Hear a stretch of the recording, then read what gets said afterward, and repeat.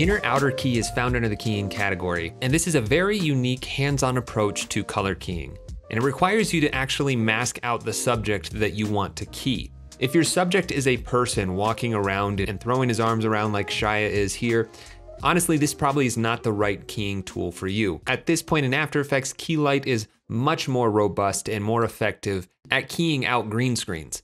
But if you're shooting an object like a tennis ball or something that's rigid on top of a green screen, or maybe something that's not moving all that much but has a lot of detail, inner outer key can do some things that other keying tools can't. First, I'll apply the effect to the footage. And look at the controls. We have a foreground or the inside mask, background or outside mask, as well as additional foreground and additional background. We'll get to that in a little bit. And then controls for cleaning up the matte. So like I said, we're going to have to draw some masks on top of our subject. You can do this with one mask or two masks. If you're only going to do one mask, then you just need to draw a rough mask around your subject. So I'm gonna just pan around here and quickly draw a garbage matte, or a matte that isn't perfectly aligned, it's just roughly outlining the shape of the subject.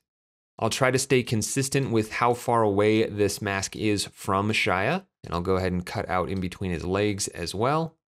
And I don't actually want this to mask my layer, so I'm gonna change the mask mode from add to none. Then I'll choose that mask as my foreground or inside mask. Now my background is transparent and I have this really strange chattery edge around Shia. Now I didn't do all that good of a job of maintaining the same distance from the subject throughout the entire shape, so I'm gonna move this around a little bit and just make everything a little bit closer to the actual edge of the subject. And what it's attempting to do is distinguish between the foreground object and the background screen, regardless of what color it is. So again, I'm just moving all this a little more close to be more accurate to defining the actual edge of my subject. And with that a little bit closer, you can see that that edge is now being chipped away a little bit more accurately around his hair and his entire silhouette. And I might even need to add in a few more points here. But now that I have something that's a little bit closer, I can refine this edge a bit more. First of all, we have single mask highlight. If I increase this, you can kind of think of this like a radius for how far beyond that mask it's looking to key out and find that silhouette. So as I turn that up, more of that green goes away. And again, I'm probably gonna need to add a few more points in here to really sharpen up that edge and clean up any of this chatter that's happening. But it's doing a pretty good job of finding that key and making it transparent. Now, obviously I could do a little bit more work to get this a little more perfect, but that's the basics of what this effect does. It looks at the mask that you draw and then attempts to knock out that background color. The problem is this is not automated in any sense. If I click and drag forward in time, Shia is gonna move away from that mask and is going to be completely pointless. It only works on the frame that I drew it on. So I'm going to have to keyframe this mask manually, basically rotoscoping my clip with a little bit more room for error, and the effect will take care of that green edge. And that's why I say that a moving organic subject like a human is likely not the best technique for this type of keying, unless every other technique you use isn't working and you're willing to put in the time and effort it takes to kind of rotoscope your subject. But let's pretend that I'm fine with using this technique. I can also distinguish between the foreground and background using two different masks. If you only use one mask, then you would set that as the foreground. But let's say that I want this to be my background mask. So I'm gonna turn this off, set this to mask one for my background mask. And then I'm gonna zoom in nice and close. And what I'll do is draw another mask similar to the one I've already drawn just to keep it consistent. And this time I'll be on the inside edge of my subject. So instead of going on the outside, I'm going on the inside. Now this technique is best suited for objects that don't have clear defined edges. Most of Shia is nice and clean, but if you think of things like hair or other objects that don't have a clean, hard defined edge, this could be a good option for cleaning up that key. You can kind of think of this effect like the refine edge tool with the roto brush if you're familiar with that. But there we go, I've defined my second mask. I'm again going to set it to none and I'll call this inner and the first one outer and then choose the inner mask as my foreground mask.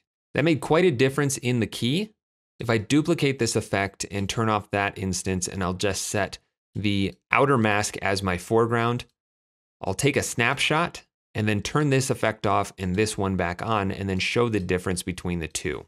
So we have less artifacts around the edges here. It's having an easier time distinguishing between the subject and the background. But we still have this issue here of this green part between his arm and his body. I'm gonna delete this instance of inner outer key and I can fix this by drawing another mask. So I'm going to zoom in here and I'm going to draw a garbage mask around this hole.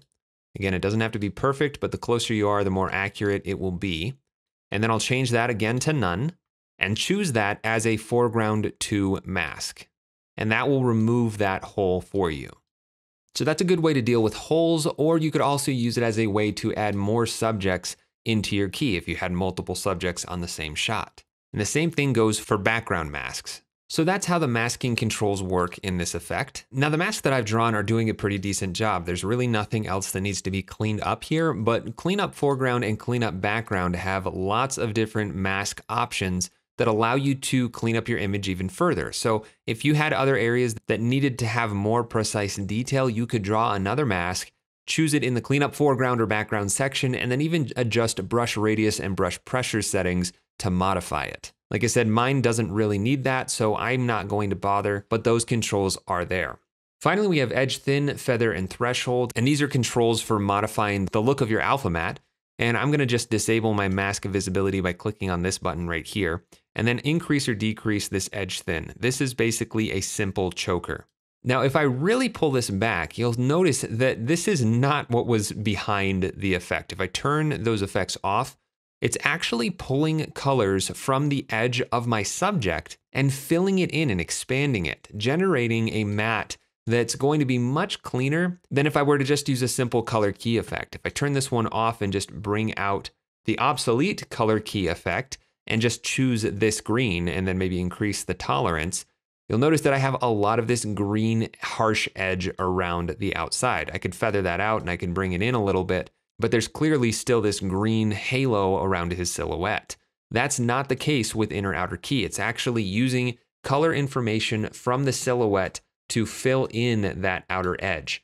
And like I said, this is very similar to how the Refine Edge tool works with the Roto brush. It just exists in this keying effect form. I could also feather out that alpha matte if I want it to be a little bit softer, and I can turn up or down the edge threshold. And that's a good way of removing stray pixels if you have anything hovering or chattering around the outside of your matte. I could also invert the extraction to give me the background and not the subject. And then finally, we have blend with original, which is just an opacity slider for the effect.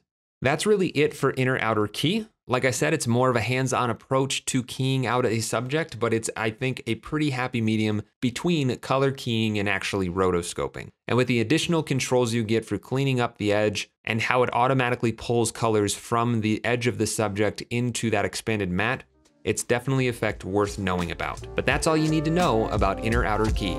Hey, thanks for watching. If you enjoyed this tutorial, then check out the other ones here on my YouTube channel. And if you like my teaching style, then definitely check out my longer form content on Skillshare and School of Motion. And if you want to support more tutorials like this one, check out my Patreon. You can find links for all that stuff in the description of this video.